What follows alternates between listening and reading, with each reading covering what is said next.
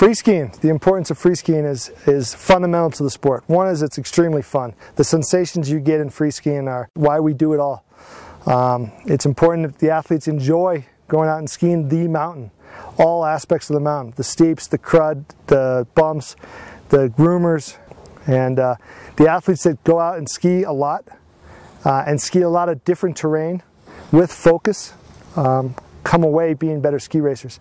So I grew up in Squaw Valley and our whole mountain kind of revolves around free skiing. So we just skied all the time. I mean, our mountain's known for legends, legendary skiers, and it was so much fun to grow up around them and chase them down the mountain and just be inspired. The love for skiing to me has always come back to free skiing. I just love spending my time out more creative and just more free spirited to go out and enjoy the mountain and kind of explore and challenge yourself.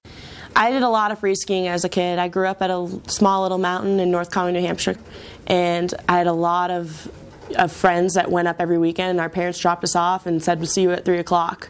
So me and my friends just skied and were in the trees and through twigs and branches and the free skiing wasn't that great, but we got the job done and we had a great time. And I I consider it to to be a big part of my childhood and really really got me to like the sport.